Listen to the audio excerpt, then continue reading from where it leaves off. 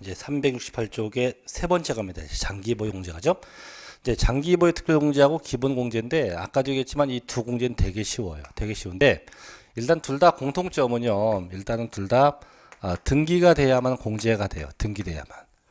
아, 등기 안 되면 안 돼요. 그래서 만약에 등기가 안 됐다고 하면 안 되면 양도 차익이 곧바로 과세표 준대요. 그래서 미등기 되면 미등기가 되면 양도 차익이 곧바로 과세 표준 금액이 되게 돼요.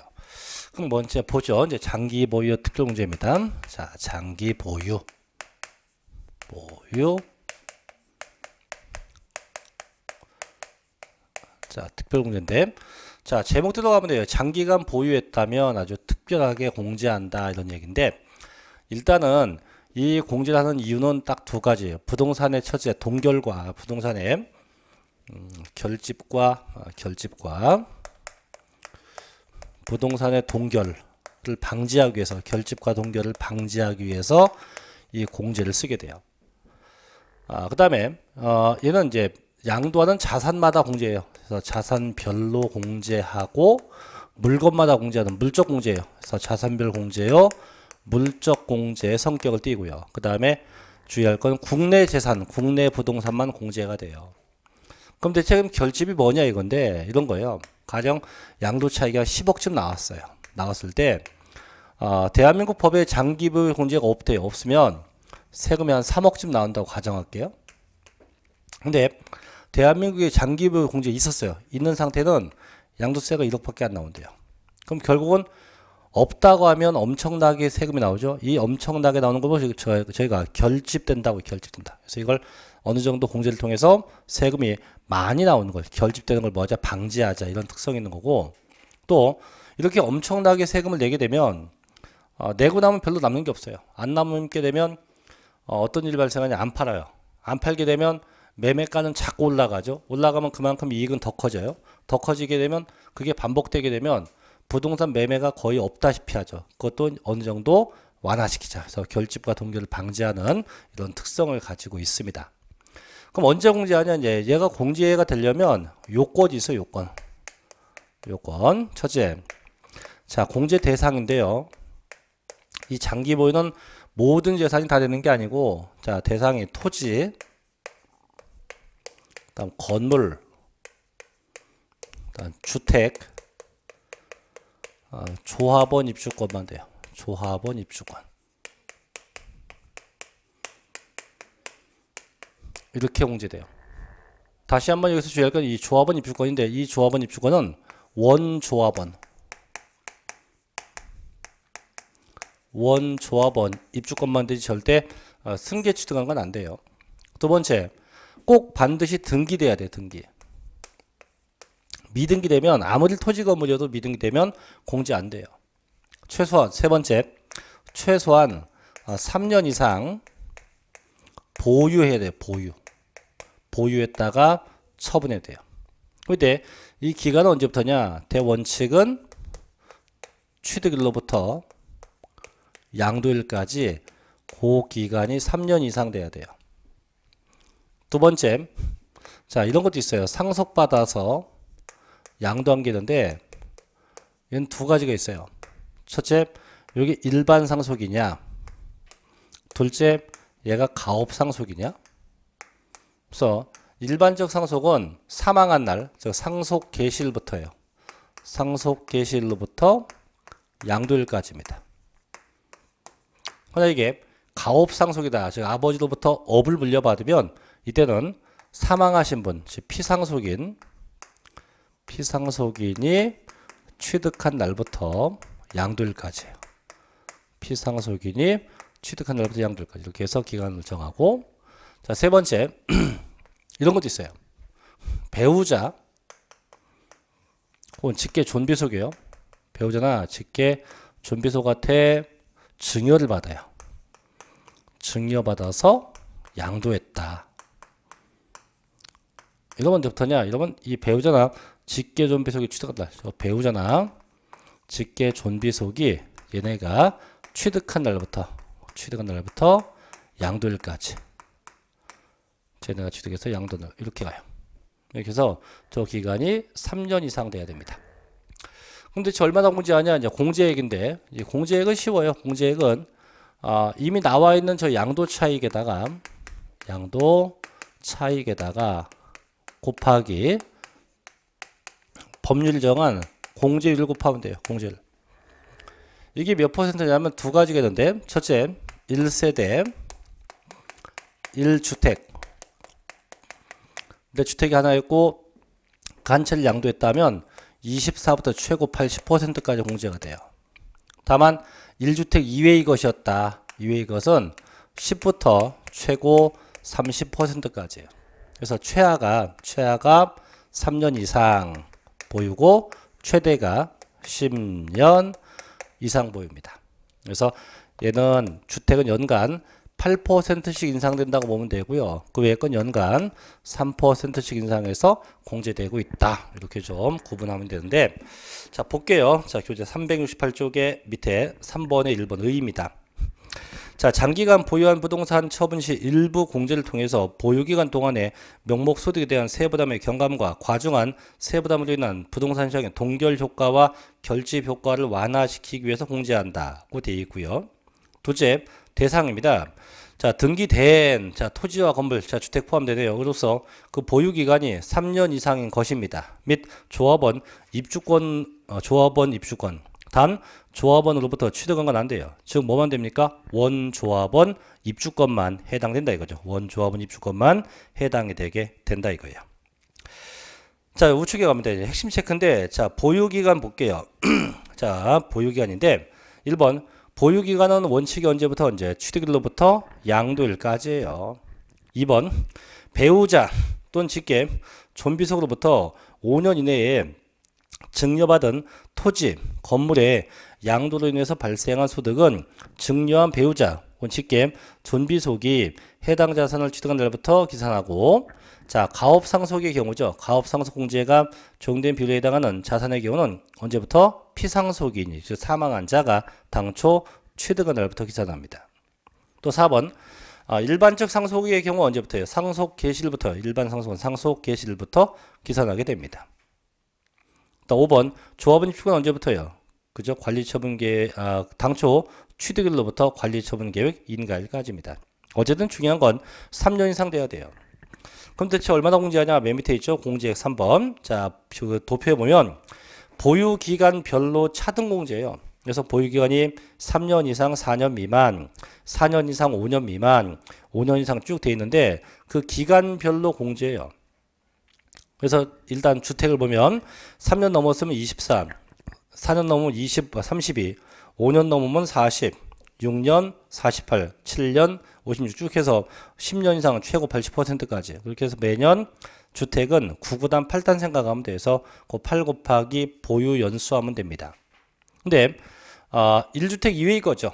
자, 3년 이상을 제외하고는 4년 차부터는 9구단 3단 생각하면 돼서 4년이면 3, 42, 5년이면 3, 55, 6년이면 3, 68에서 계속해서 매년 3%씩 쭉쭉 올라가서 공제되고 있다는 거죠. 그러니까 적어도 그걸 다 기억은 못해도 적어도 3년 이상, 5년 이상, 10년 이상 그 세 개는 좀 기억합니다. 3년, 5년, 10년 그 세 개는 좀 기억을 해 놓으셔야 돼요. 자, 맨 밑에 네 번째입니다. 동일 연도에 수혜 양도 때 여러 번 양도해도요. 자, 맨 밑에 있죠. 공제 요건만 되면 공제 요건이 해당되면 항상 어떻게 자산별로 각각 공제 가능합니다. 자산별로 각각 공제 가능하다. 여기까지. 자, 여기까지가 이제 장기보유 공제입니다. 뭐 어렵지 않죠, 그죠? 자, 넘어가죠. 이제 371쪽으로 갑니다. 네 번째, 이제 기본 공제 갈게요. 자, 양도 차익에서 장기 보유 공제 빼면 양도 소득 금액이고 이제 기본 공제입니다. 기본 공제. 무조건 250만 원 뺀다고 되는데 그럼 얘도 볼게요. 기본 공제는 장기 보유 공제보다 더 쉽습니다. 왜 쉽냐면 그래서 저 250만 원만 기억하면 되니까 이게 훨씬 내용이 더 쉬워요. 자 보면 자, 양도 소득 기본 공제입니다.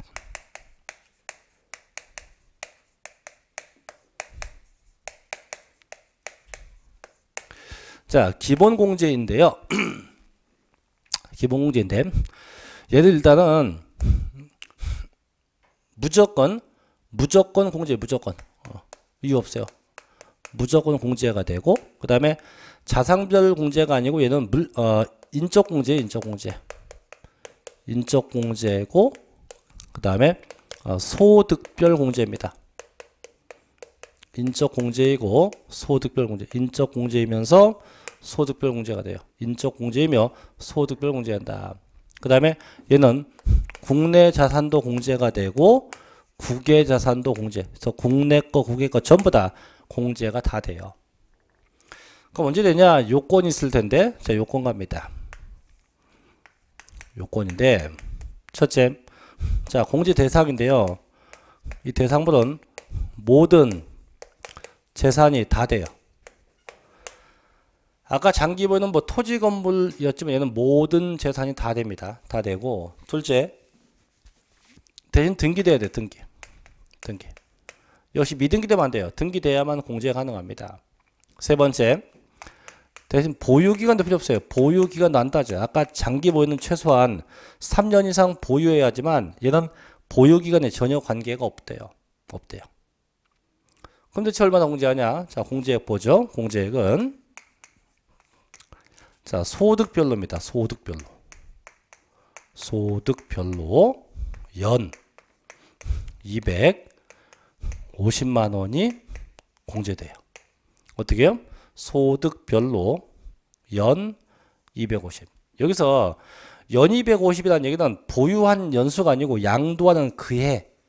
그럼 내년도가 2017년도, 2017년도 한 해 동안, 2017년도 한 해 동안 250만 원, 2017년도 한 해 동안 250만 원이 공제입니다. 뭐별로? 소득별로. 근데 이제 소득별로 뭐가 있냐? 세 가지, 세 가지. 첫째, 토지, 건물 자 부동산에 관한 권리 기타 자산 이렇게 네 가지. 그래서 이 네 개는 네 개는 네 개 전체에서 연 250만 원 공제가 되고요. 둘째 주식입니다. 이건 출자 지분이에요? 주식이나 출자 지분에서 얼마? 연 250이에요.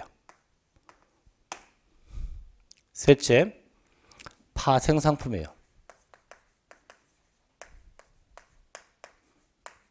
폼에서도 얼마? 연 250이에요. 그래서 매년 250만 원씩 공제입니다. 주의할 게 건건이 아니에요. 이 전체. 여기부터 요건 여기부터 여기까지 해서 250, 주식은 여기부터 여기까지 250, 파생상품에서 최대 750만 원까지 다 팔면 750만 원까지 공제 가능해요. 자, 보전. 자, 과세표준 갑니다. 양도 소득 과세표준은 양도소득 금액에서 자, 기본 공제를 뺀 금액으로 한다. 그래서 맨 밑에 공식 나오죠? 자, 그럼 넘겨봐요. 이제 기본공제 갑니다. 1번. 자, 기본공제 대상. 자, 양도 소득 기본공제는요. 보유기간의 장단이나 과세 대상비와 관계없이 모든 양도자산에 대해서 적용한다. 단 미등기는 그렇지 않다. 2번 자 공제액 보셔요. 자 양도소득이 있는 거주자에 대해서는요. 해당 과세기간에 양도 소득 금액에서 다음에 소득별로 각각 연 250만 원씩 공제해요. 단 공유자 재산이면 어떻게 해요? 공유자 각자가 공제받을 수 있다.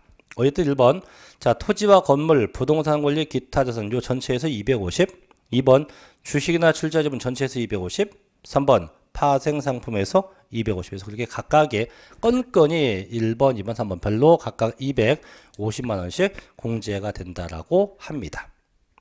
근데 3번 볼게요. 3번 좀 생소한 건데 자 양도 소득금액에 감면 소득이 있었다고 되어 있는데 자 뭔지 볼게요. 자, 양도 소득 금액에서 감면 소득 금액이 있는 경우 그 감면 소득 금액 외의 양도 소득 금액에서 먼저 공제하고 감면 소득 금액 외에 양도소득 금액 중에서는 해당 과세기간에 먼저 양도한 자산부터 순서대로 공제한다. 이게 뭔 얘기냐면요. 이런 거예요. 제가 양도한 게 한 개가 아니고 두 개, 두 개. 한해 동안 한 해 동안 양도한 게, 자, 토지도 양도했고, 건물도 양도했어요. 이때 토지가 8년 경작한 농지, 농지. 농지고, 건물은 일반 건물입니다. 예를 들면, 어, 8년 경작한 농지는 양도세가 면제가 돼요. 면제. 면제가 되고 일반 건물은 과세가 돼요. 그럼 이렇게 양도세가 면제와 과세가 동시에 있다면 기본 공제는 어차피 얘는 필요 없는 거죠. 면제니까. 과세되는 쪽에다 공제한다 이런 얘기예요. 그게 위에 첫 번째 얘기고 두 번째 만약 나 둘 다 과세였다. 얘도 과세고 얘도 과세였다면 이때는 먼저 양도한 것부터 먼저 양도한 것부터 공제한다. 이 얘기예요. 그래서 다시 한번 읽어볼게요. 자, 양도 소득 금액에 감면 소득 금액이 있으면 그 감면 소득 금액 외, 외는 과세예요. 과세 소득 금액에서 먼저 공제하고 또 감면 소득 금액 외에 양도 소득 금액 둘 다 과세예요. 둘 다 과세를 내었던 거 해당 과세 기간에 먼저 양도한 자산부터 순차적으로 공제한다고 합니다. 그래서 그런 기본 공제에 대한 얘기까지 정리받네요. 그래서 여기까지가 이제 기본 공제예요. 이제 빼내면 이제 과세 표준이요 곱하기 세율로 갑니다. 이제 한 장 또 넘겨볼게요. 자, 374쪽에 5번이요. 양도소득세 세액 계산. 자, 세율 보죠, 세율.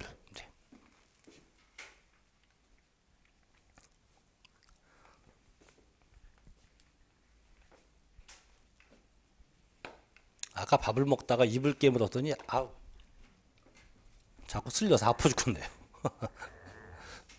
참 별걸 다 씹어 먹어야지.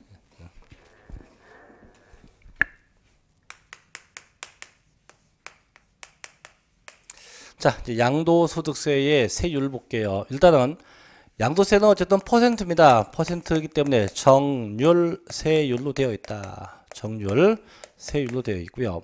이때 이게 두 가지 두 가지. 이게 첫째는 차등 차등 비례세율도 있고요. 또 하나 뭐가 있냐면 초과 초과 누진 세율 이게 두 가지가 존재해서 차등세율도 있고 초과 누진도 있다.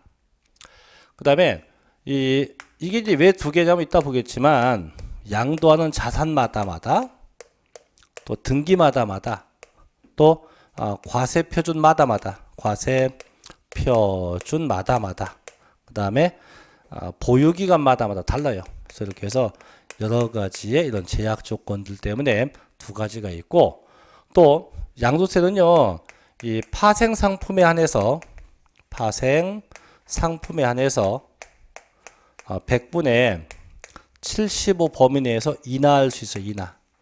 어, 그래서 파생 상품만 이 부동산 아니에요. 파생 상품만 100분의 75 범위 내에서 인하할 수도 있다. 인하할 수 있다. 자, 볼게요. 자, 374쪽 맨 밑에 거주자의 양도 소득세는요.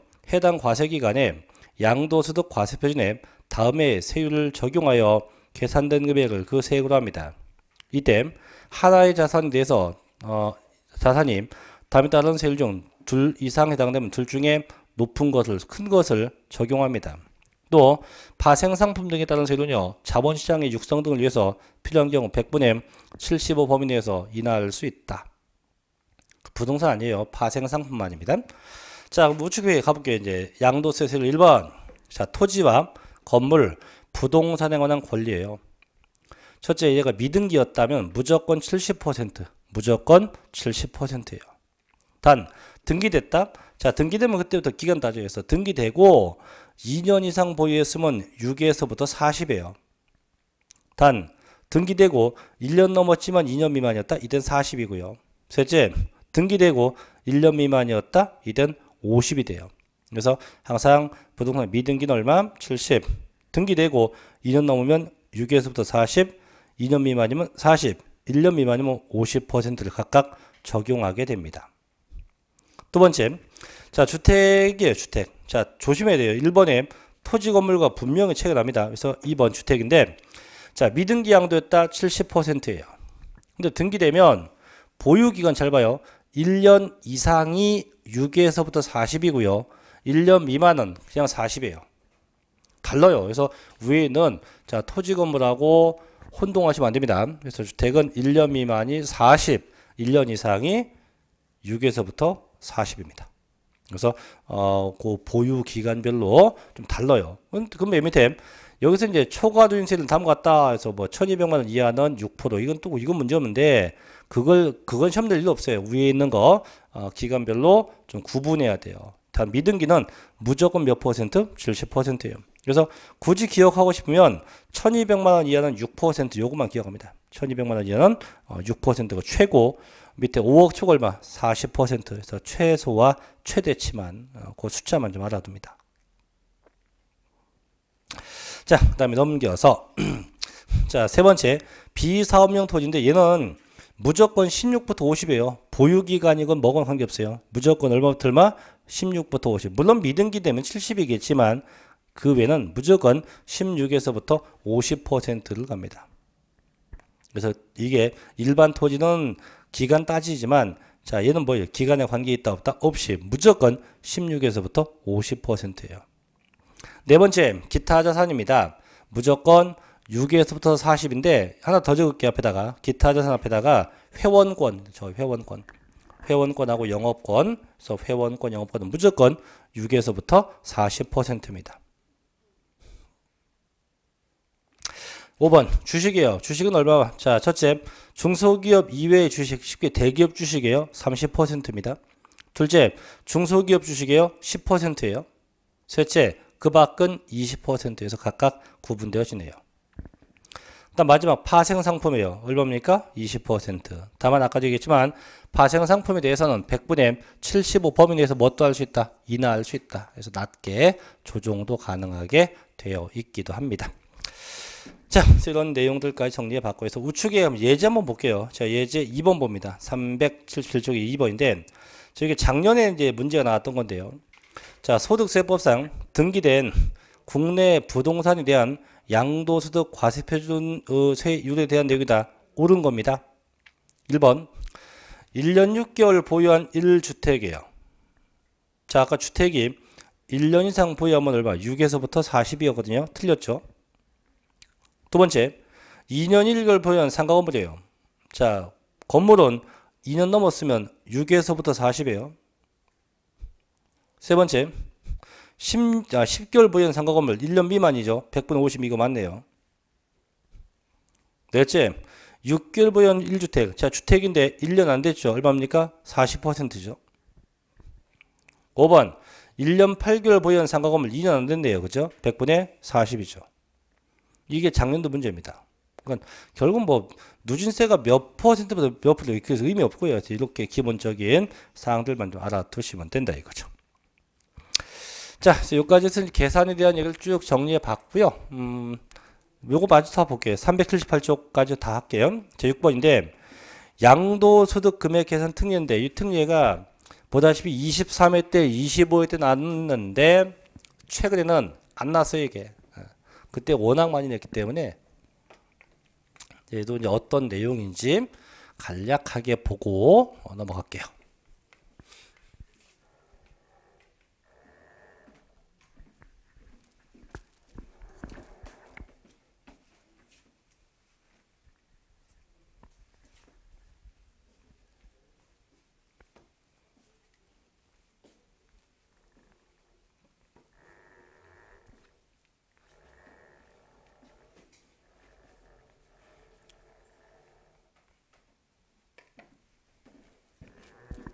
자, 보죠. 양도소득금액 계산 특례 갑니다. 특례.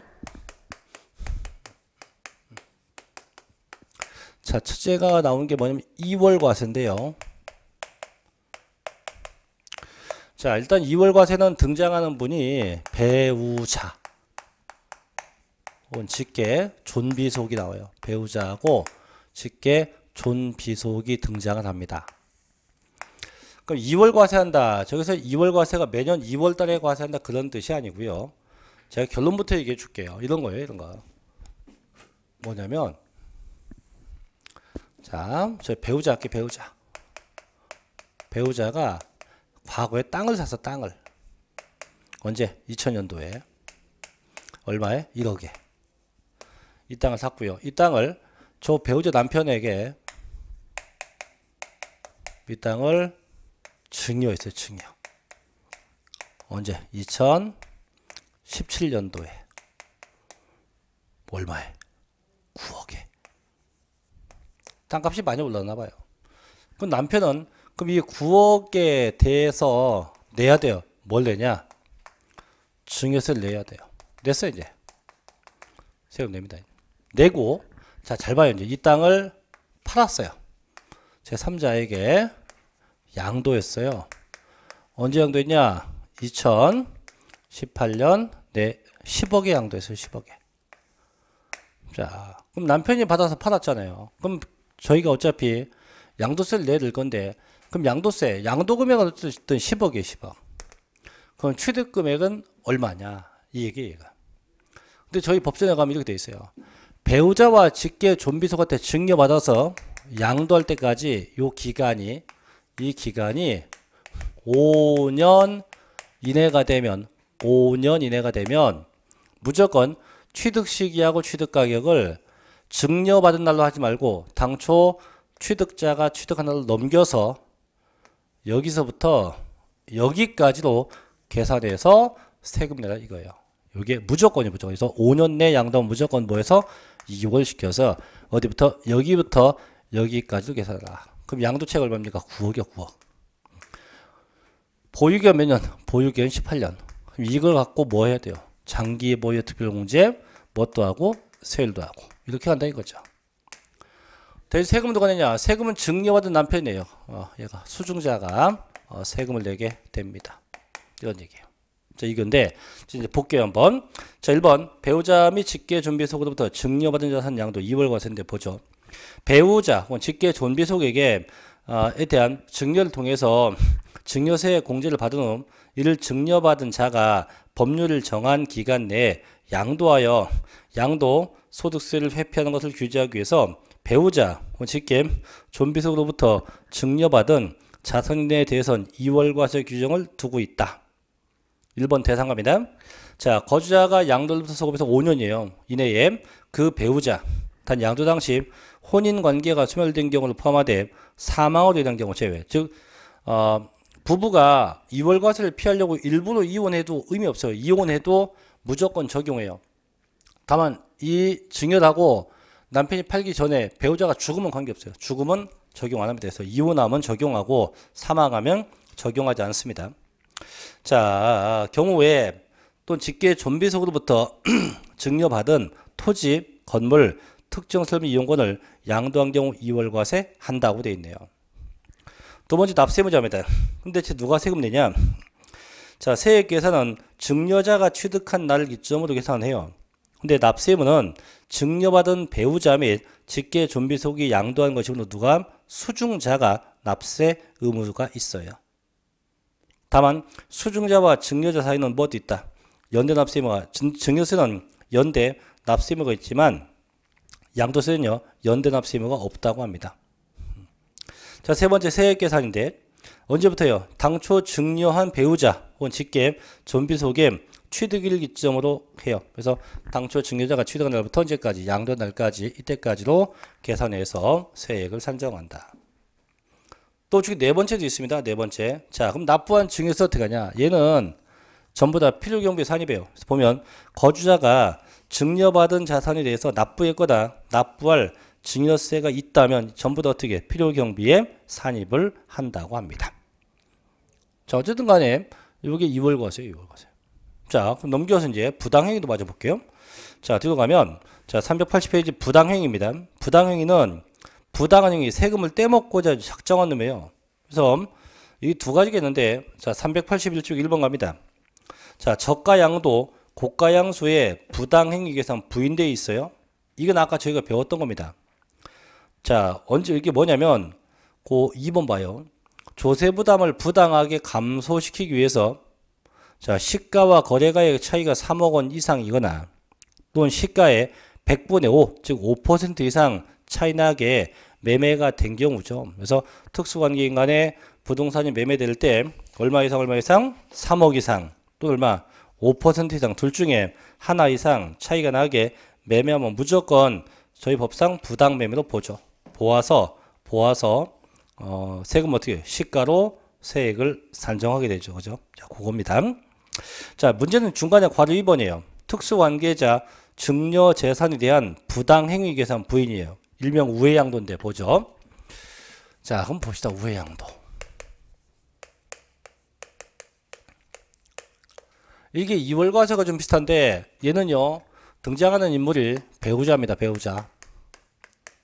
아, 예, 예. 배우자와 직계존비속이 아닌 특수관계인, 특수관계인. 특수관계인만 나옵니다. 배우자와 직계존비속을 뺀 특수관계인만 나타나요. 이런 거죠. 어떤 거냐면, 자, 저 형이 있어요, 형. 형이 과거에 땅을 샀대요. 언제? 2000년도에. 얼마에? 1억에. 이 땅을 동생에게 이 땅을 증여했어요. 증여. 언제? 2017년도에. 얼마에? 9억에. 똑같이 갑니다. 그럼 동생은 엄청난 증여세를 냅니다. 크게 쓸게요. 왜 엄청나게 되냐면 부부간의 증여라면 이 증여받은 금액에서 6억을 빼요. 6억을 공제한 나머지만 세금 내지만 형제 간에는 끽해봐야 한 돈 천만 원밖에 공제가 안 돼요.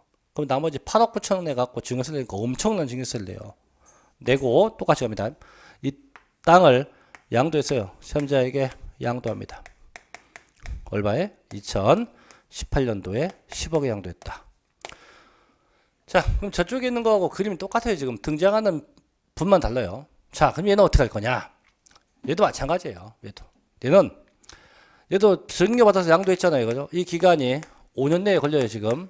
5년 이내라고 하면 아까 이거 같이 무조건 넘기는 게 아니고요. 넘기는 게 아니고 여기부터 여기까지 양도세를 구해요. 구해. 구해서 두 개 합계를 내요. 증여세하고 양도세 합계를 내요. 합계. 내보고 근데 이제 여기서 궁금한 건 이거예요. 형제 간에 증여하면 분명 힌트는 엄청난 증여세를 낸다 했잖아요. 그죠? 내고 내면서까지 굳이 동생이 이걸 왜 팔까? 그럼 국가가 볼 때는 혹시 혹시 얘가 직접 팔면 세금이 엄청 나갖고 그런 거 아닌가? 그래서 무조건 합기를 내놓고 판 건 얘가 팔았지만 형이 판 거로 가정을 해서 형이 판 거로 가정해서 가정에서 형님의 양도세를 구해요. 구해서 이 양도세하고 이 합계 금액하고 비교해 비교.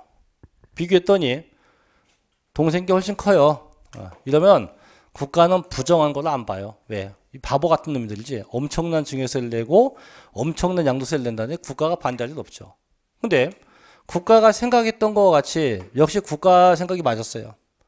형이 팔면 양도세가 엄청 크니까 일부러 증여세 물면서까지도 동생 명의로 판 겁니다. 이렇게 되면 이거는 국가가 볼 때 그래 세금을 떼먹은 거야 떼먹은 거야 라고 인정되면 동생한테 양도세 안 받아요. 증여세 다시 돌려줍니다. 돌려주고 판 건 동생이 받았지만 세법상은 이 형이 판 걸로 봐서 형에게 양도세를 부과시켜요. 부과시키고 계산도 어디부터 여기부터 여기까지로 계산하게 돼요. 그럼 2월 과세고 공통점은 이거예요. 똑같은 거는 항상 어디부터 증여자가 취득한 데부터 양도한 날까지로 계산하게 돼요. 다만 차이점은 아까 2월 과세는 수중자가 세금을 내요. 얘는 누가 내요? 증여자가 세금을 내요. 또 차이점은 얘는 증여세를 뭐합니까? 필요경비에 산입을 합니다. 얘는 어떻게 해요? 증여세를 전부 다 돌려줍니다. 환급해줘요. 자, 이제 보죠. 자, 1번. 자, 381쪽에 중간에 동그라미 1번이에요. 대상, 거주자가, 자, 특수관계 인, 다음 배우자, 직계존비속 제외입니다. 에게 자산 증여한 후 그 자산을 증여받은 자가 그로부터 5년 내에 일타인에게 양도한 경우로서 증여받은 자의 증여세와 양도세를 합한 세액이 증여자가 직접 양도한 경우로 봐서 계산한 양도 소득세보다 적은 경우는 증여자가 직접 양도한 것으로 봅니다.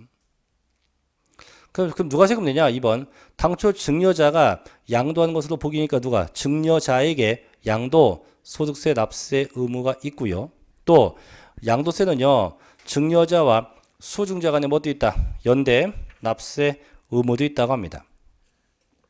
세 번째, 그럼 양도세 계산 어떻게 하냐? 당초 증여자의 취득일 기점으로 양도 차익, 장기보유 특용제, 세율 등등을 저 계산합니다. 그럼 네 번째, 그 납부한 중에서 어떻게 하냐? 땡땡. 증여자에게 양도 소득세가 과세될 때 됐을 때 당초 증여받은 자산에 대해선 상속세나 증여세법에 불구하고 자 끝에 있어요. 증여세 뭔다? 환급한다. 돌려준다라고 합니다. 그런 제한 요건에서 차이점이 넘겨보시면 있어요. 그래서 넘겨보면 383쪽 가면은 어, 박스에 증여재산에 대한 이월과세와 부당행위 계산 부인에 대한 그 공통점하고 차이점이 있으니까 그좀 어, 다시 한번 읽어보시기 바랍니다. 자, 그래서 여기까지 할게요 오늘 하고 이제 비과세인데 비과세는 저희가 다다음 주에 와서 그때 이어서 마저 어, 끝까지 끝내도록 하겠습니다. 자, 오늘 고생하셨네요. 그죠? 오후 동안 고생하셨고 그 다음에 저 영상 보는 분들 죄송합니다. 부득이하게 휴가가 돼서 수업이 좀 연장됐는데 좀 많은 이해해 주시기 바랍니다. 자, 아, 다음 주에 뵙죠. 마치겠습니다. 수고했습니다.